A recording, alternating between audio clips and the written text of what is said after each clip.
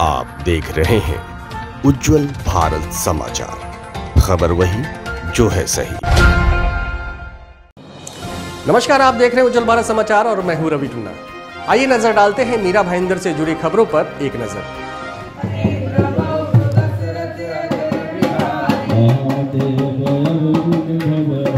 विष्णु सकल गुण जय कर जाहि ते ते तेहि काम मंगल भवन मंगल हारे रमो सुदशरथ गिर बिहारे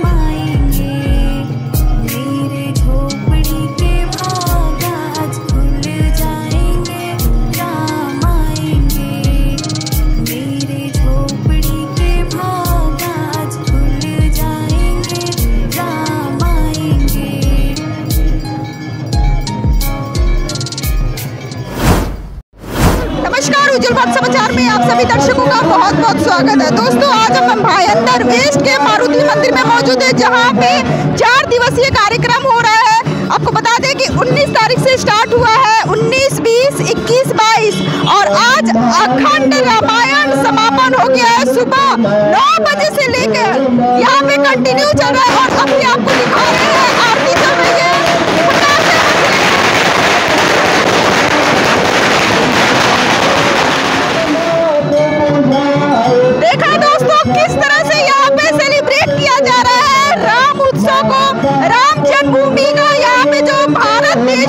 उसको सेलिब्रेट किया जा रहा है आपको बता दें यहाँ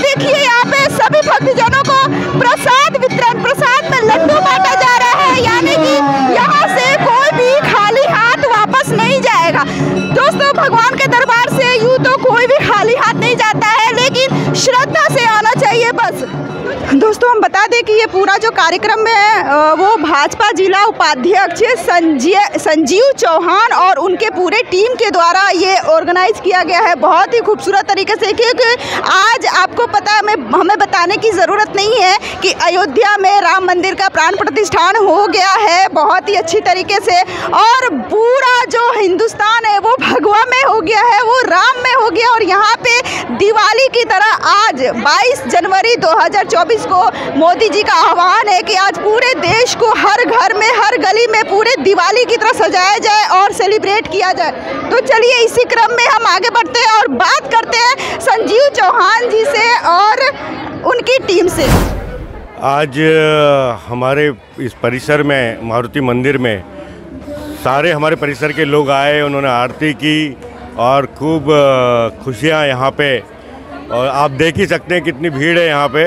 सुबह से ही लोगों का तांता लगा हुआ था इधर।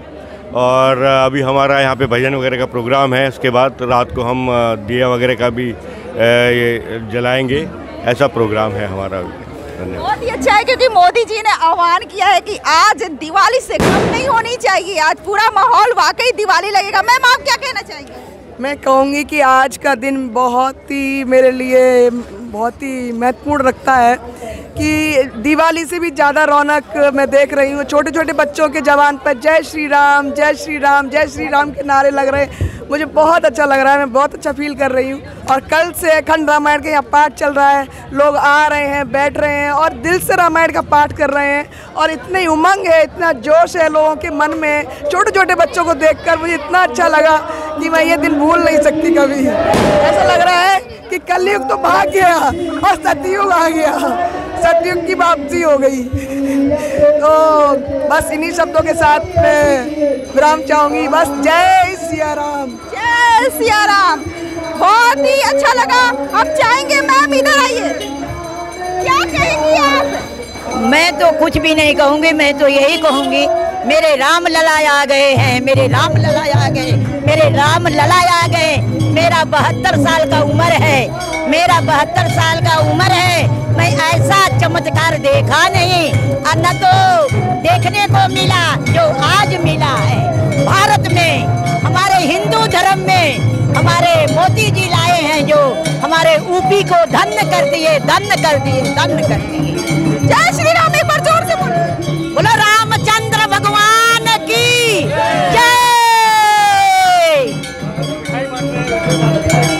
बहत्तर साल की उम्र में भी इनके अंदर जो जोश है दोस्तों वो काबिले तारीफ़ है। आप लोग भी देख के अंदाज़ा लगा सकते हैं।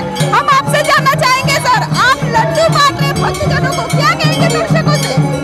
क्या बोलेंगे आप? ना अच्छा है? बहुत अच्छा बनाया। हाँ अच्छा है। जय राम।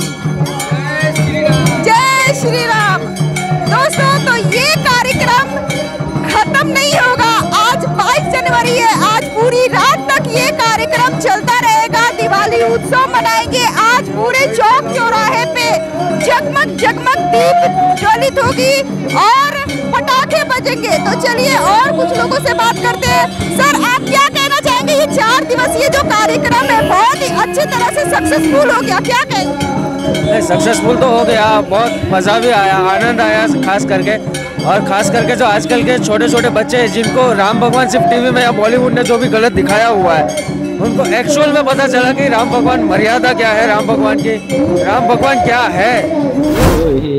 पूरा राम में हो गया है पूरा भाईंदर अयोध्या का जो चल रहा है मोदी जी ने सारा पूरा भारतवर्ष को राम में कर दिया।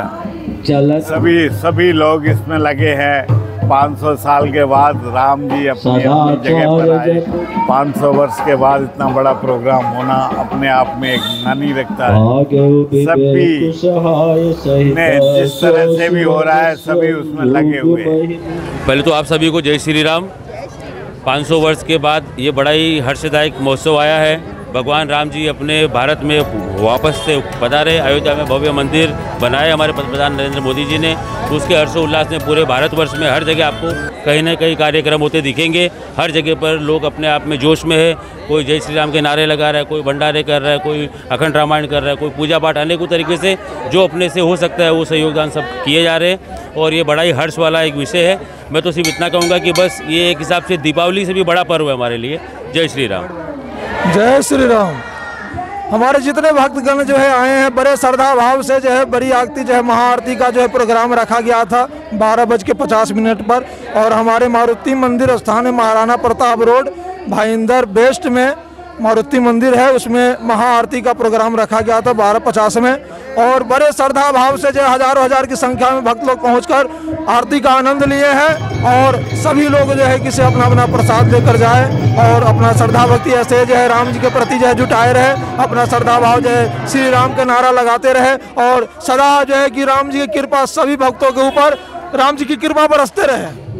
देखिए, गायत्री परिवार के जो मुख्य हमारे आचार्य रहे हैं पंडित श्याम शर्मा आचार्य, जो कई जन्मों से उनकी तपस्या रही है और उन्होंने इस जन्म में गायत्री मंत्र पर शोध किया और उस पर बहुत काम किया। शांति को हरिद्वार, युग निर्माण योजना, मथुरा और आवल खेड़ा इस तरह से मतलब पूरे विश्व में अखिल भारतीय विश्व गायत्री परिवार हमारा बना हुआ है, जिसके बारे में हमारे मीरा महेंद्र के मुख्य परिवारक श्री रामजन्म दुबे जी प्रकाश डालेंगे। श्री रामजन्म दुबे जी। आप गायत्री परिवार से हैं और यहाँ पे जो चार दिवसीय कार्यक्रम चल रहा है, उसके बारे में क्या कहेंगे, सर? यहाँ जो कार्यक्रम चल रहा है आज का, हमारे अयोध्या में भगवान रामलला के स्थापना के उपलक्ष्य में सभी कार्य चल रहे हैं। हम लोग भी इस कार्यक्रम में सहभाग रहे और हम अपने गायत्री परिवार के परिजन होने के नाते इस कार्यक्रम के साथ में अखिल विश्व गायत्री परिवार शांति कुंज हरिद्वार के जो संस्थापक थे, पंडित राम शर्मा आचार्य जी उनके द्वारा अश्वमेध यज्ञ का संकल्प हुआ है। वही अश्वमेध यज्ञ जो भगवान राम ने किया था। वही अब जो है अश्वमेध यज्ञ हमारा फरवरी में 21 फरवरी से 25 फरवरी न्यू बॉम्बे कौन सा? खारघर में होने जा रहा है जो कि आज के समय का सबसे बड़ा यज्ञ, जो यज्ञों का राजा अश्वमेध यज्ञ होने जा रहा है, वह संपन्न होगा बॉम्बे में, न्यू बॉम्बे में। और जिसमें भारत सहित 80 देशों के लोग भाग ले रहे हैं 1008 कुंडों की स्थापना की जा रही है। वैदिक मंत्रों से उसमें, वैदिक सनातन धर्म से जो है यज्ञ संपन्न कराए जाएँगे। और भारतीय सनातन धर्म संस्कृति के जितने भी हमारे संस्कार हैं, वह सभी संस्कार वहाँ पे निःशुल्क रूप से संपन्न कराए जाएँगे वैदिक आचार्यों द्वारा। हम इस कार्यक्रम के साथ साथ जहाँ भी हम जा रहे हैं, अपने अश्वमेध यज्ञ की बात प्रचार को बता रहे हैं। जो भी भाई बहन सनातन धर्म प्रेमी इस यज्ञ में भाग लेना चाहते हैं, अंशदान देना चाहते हैं, सहयोग करना चाहते हैं, दर्शन करना चाहते हैं, वह अपना नाम रजिस्ट्रेशन कराएँ और हमारे गायत्री परिवार के परिजनों से मिल करके वहाँ के कार्यक्रम के विषय में पूरी जानकारी ले सकें। एक्चुअल में पता चला, लेकिन दोस्तों, हम आप सभी दर्शकों से एक गुजारिश करना चाहेंगे कि आप अपने बच्चों को कम से कम संस्कार ज़रूर दीजिए, अपने धर्म का संस्कार ज़रूर दीजिए, क्योंकि उन्हें जानना बहुत ज़रूरी है कि उनके प्रभु श्री राम, उनके धर्म कौन है। इसके लिए, क्योंकि